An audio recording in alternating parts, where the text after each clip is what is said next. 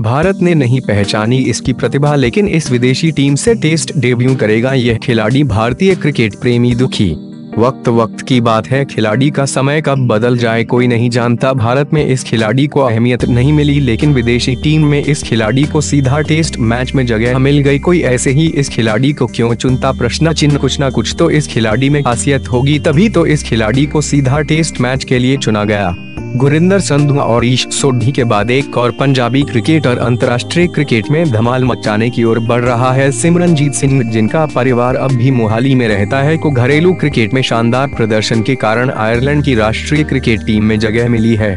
इसी साल मई में न्यूजीलैंड के खिलाफ उन्होंने अंतर्राष्ट्रीय क्रिकेट में डेब्यू किया था। साल 2008 में वे आईपीएल का पहला संस्करण खेलने भारत लौट आए।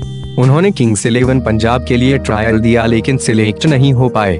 आपकी जानकारी के लिए हम बता दें कि 13 सितंबर को वेस्ट इंडीज के खिलाफ होने वाले वन डे मैच के लिए वे भी आयरलैंड की टीम का हिस्सा हैं।